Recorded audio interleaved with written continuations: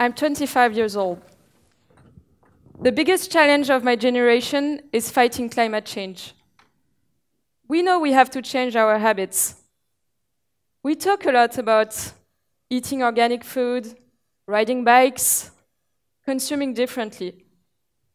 But we don't talk so much about buildings, but where we live and where we work. And that's crazy when you know how much of an impact it has on environment. Buildings use 50% of natural resources and produce 25% of CO2 emissions. Buildings are being made the same way for 50 years. We all have realized that our planet was in danger. I mean, almost all. But it's as if the construction industry didn't get the memo. We need a building revolution. Enough talking about problems. We need solutions. After graduation, I decided to go into politics, working for the deputy mayor of Paris in charge of architecture and planning. We decided to change the world of the game in Paris. That's what we did. Okay, we didn't actually turn the Eiffel Tower, but we launched a big competition called Reinventing Paris. We proposed to worldwide teams to build differently and better in Paris. The rule was simple. We proposed 23 sites, and on each of those sites, the best project would win the site. It had a huge success. It was a little revolution for Paris and a big revolution for me, because I understood how buildings can be radically different, can be good for the environment, good for people. So tonight I want to share with you the projects that have moved me, that have changed my vision of architecture. And through those projects, I want to share with you new rules for architecture. Let's start with rule number one. Change the recipe. This is one of my favorite winning projects from this competition. It is a tower made of wood built close to an old railway station. It is both a food market, an urban farm, and also housing units for chefs. What I really love about that building is how wood makes it feel beautiful and special. It fits so well with our patrimony and with what is actually inside that building. It made me think about what materials we actually use in our buildings. This is Michael Green. Michael is a Canadian architect. He builds only in wood. Tall buildings, smaller one. When I first met Michael, I was with my grandmother, and she asked him, Why building in wood? He said, Think of buildings as food. You should know every ingredient that is in it, and it should be healthy. Wood is a healthy ingredient. It doesn't harm the planet. Unfortunately, in most countries, concrete is preferred to wood. For me, concrete is like fast food architecture. Nobody knows the ingredients, and it makes the planet sick. Well, obviously, it's cheap, you're not hungry for a while. But you don't eat fast food every day. Well, it should be the same with concrete. Concrete was a great material, but for the 20th century. Concrete is the most consumed human made material on Earth. It is made of sand, water, cement, mainly. Sand is a finite resource. It is disappearing, along with beaches and islands.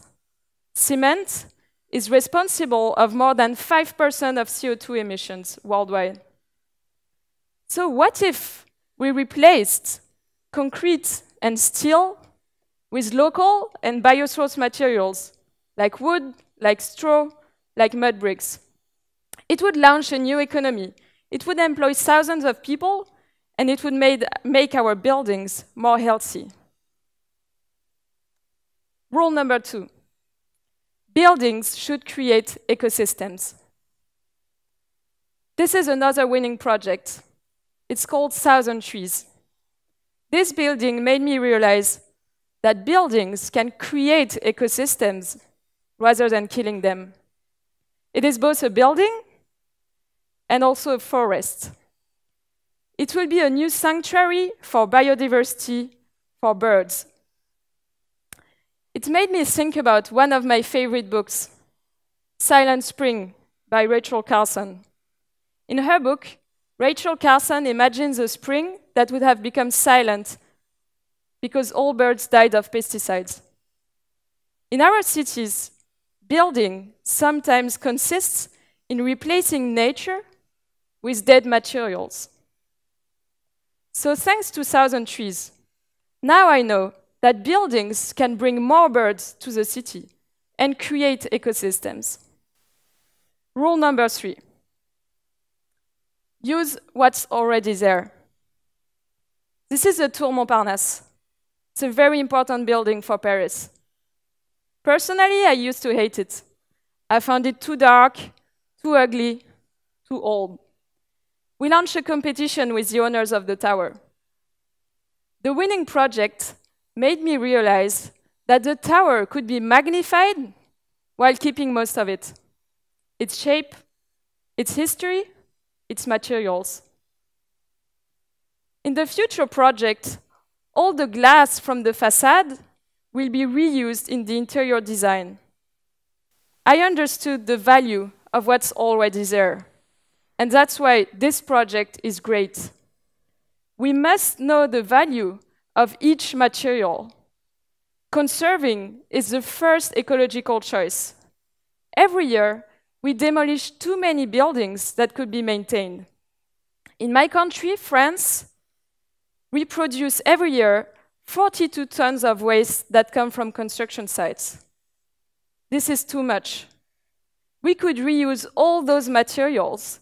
It could create millions of jobs, and it could make buildings more original and more authentic. Rule number four buildings should feed the city.